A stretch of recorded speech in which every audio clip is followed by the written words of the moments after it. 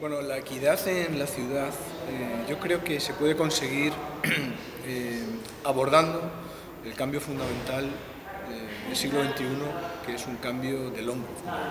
Tenemos unos retos tecnológicos, tenemos unos retos para una economía más justa, pero me parece que sin ninguna duda el gran reto del siglo XXI es el hombre. A partir de ahí debemos construir un sistema de servicios que venga a sustituir el actual sistema de productos, eh, generando vínculos con todos los estratos de la sociedad. Cualquier intervención eh, sobre el territorio debe generar vínculos medioambientales, vínculos sociales, vínculos eh, económicos, una economía más justa y vínculos políticos. Creo que si desde la política no somos capaces de intervenir, muy difícilmente vamos a conseguir generar una ciudad más justa.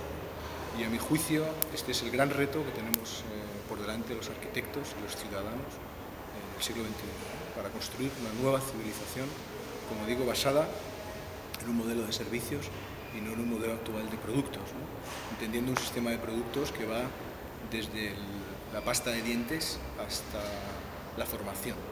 Los productos cogen todo y, y en el momento en que consigamos cambiar toda esa dinámica una dinámica de servicio realmente ciudadano, estaremos haciendo una, una ciudad más justa.